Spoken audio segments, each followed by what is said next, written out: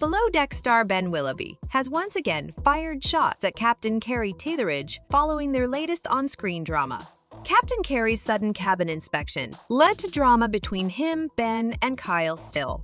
We saw Ben ignore the cabin inspection to, in his words, focus on work, leading to a major blow-up. The captain didn't mince words when calling out the two guys, especially Ben, because he's in a leadership position. But before the season 11 finale, Ben made some serious claims about Captain Kerry and how he treated others. When a fan asked about the random cabin inspection, he spoke his mind via an Instagram Q&A session. One fan wanted to know if cabin inspections were normal on yachts or just something Captain Kerry did. Not only did the bosun respond that it was common, but he also used his response to criticize the captain.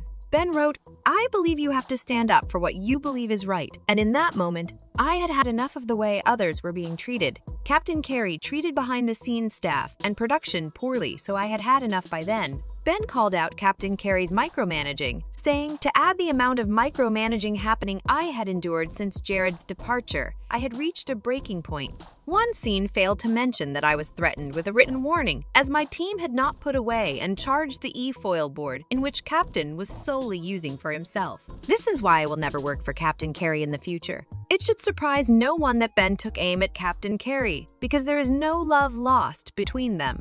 Captain Kerry admitted in an interview that Ben wasn't his first choice to replace Jared Woodin. Captain Kerry also hinted Ben may not make it to the end of the season. But after hearing the remarks, Ben took aim at the captain for dissing his work ethic. He has also spoken out more than once about his unhappiness with the way things went down on Below Deck Season 11.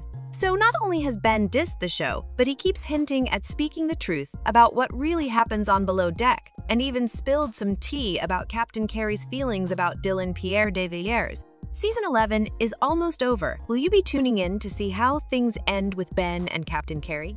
Let us know in the comments. And don't forget to like and subscribe for more updates on the Below Deck franchise and even more reality TV news.